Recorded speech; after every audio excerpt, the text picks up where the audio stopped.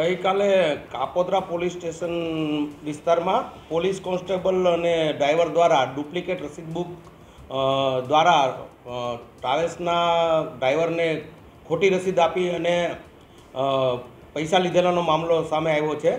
જે બાબતે કાપોદ્રા પોલીસ સ્ટેશનમાં ગુનો પણ નોંધવામાં આવ્યો છે. આ આ બનાવની હકીકત એવી છે કે ટ્રાફિકના માણસો જ્યારે એન્ફોર્સમેન્ટ અને ટ્રાફિક નિયમનની ફરજ પર હતા, ત્યારે એક ટ્રાવેલ્સ ત્યાંથી નીકળતા એને રોકી અને જાહેરનામાનો ભંગ થયેલો હોય તેની પૂછપરછ કરતાં તેણે એક પાવતી બતાવેલી કે મને હજી આ થોડાક સમય પહેલાં તો હું દંડ ભરીને આવેલ છે.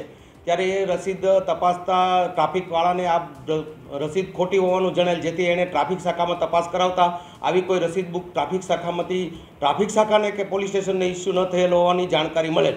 જેથી કરી આ ડ્રાઈવરને કંડક્ટરને પૂછતા કે તને આ રસીદ ક્યાંથી આપવામાં આવેલી? તો એણે જણાવેલ કે મને હીરાબાગ ખાતે આપવામાં આવેલી અને એક રમીજ નામના વ્યક્તિ આ રસીદ બનાવી આપેલ છે.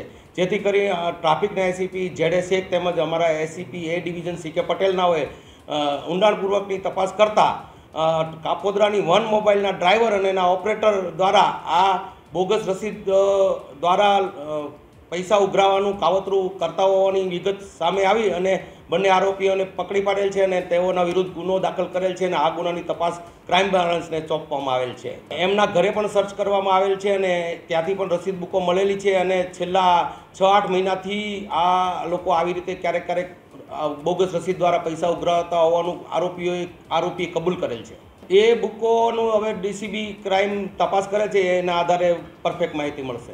આવા જ અવનવા વિડીયોઝ માટે અબ ચેનલને સબસ્ક્રાઇબ લાઇક અને શેર કરતા ના ભૂલશો. આ જ રીતે જોડાયેલા રહો અપટેક સાથે.